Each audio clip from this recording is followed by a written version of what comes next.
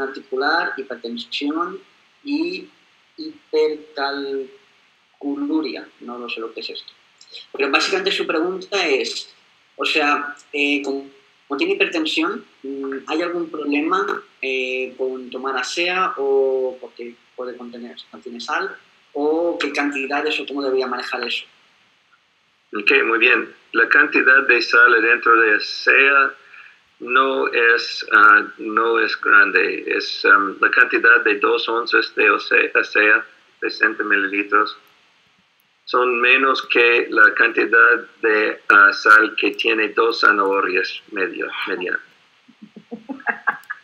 Y entonces, entonces um, ah, no hay problema con la sal y si hay problemas uno puede ya um, reemplazar por lo menos dos zanahorias en su dieta para tomar ASEA eso no es el problema. Um, bueno, el problema con, esto, con la, hipertensión y, otros, es que no debemos entonces uh, hacer que el cuerpo está sobre, um, ¿cómo se llama? Quiero decir sobre empoderado, pero que, que estamos haciendo demasiada reparación demasiado rápido.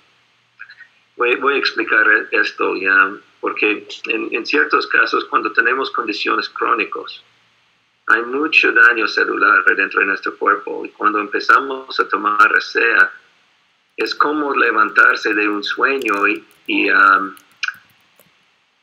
y averiguar, entender que su casa está en desastre.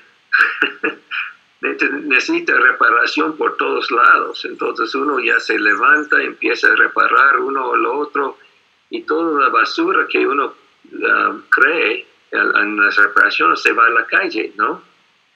Y eso es bueno, todo bueno, pero la basura tiene que, tenemos que tener un mecanismo que lleva la basura de, nuestro, nuestro sistema y los bota.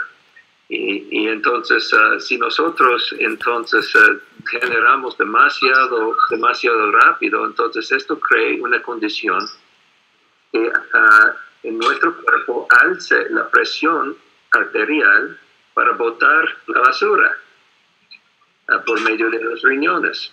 Si los riñones están funcionando bien y el sistema digestivo está funcionando bien, no hay problema tomamos mucho, tomamos mucho agua, podemos ya botar toda la basura. Pero um, a veces nosotros tenemos que tener un poquito de cuidado de no, de no tomar demasiado, demasiado pronto. Entonces, si nos vemos que tenemos, um, nos sentimos bien, podemos uh, disminuir la cantidad que estamos tomando por un rato y dar el cuerpo el tiempo para repararse. Ah, en, ah, muchos casos tenemos tiempo.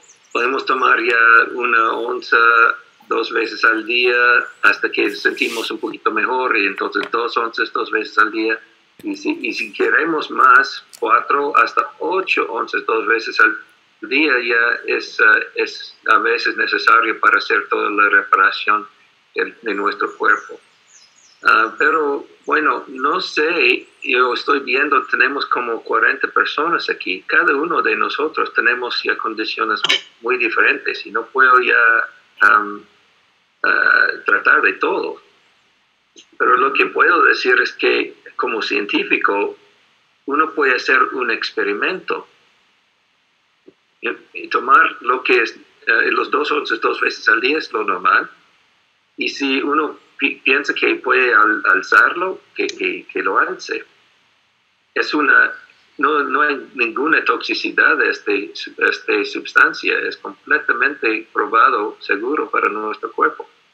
Entonces podemos ya bajarlo, reducirlo, hasta, que tengamos ya la cantidad óptima para, para nosotros. Es una, una respuesta muy larga a, su pregunta, pero ojalá que esto le da una idea. claro que sí, doctor. es fantástico.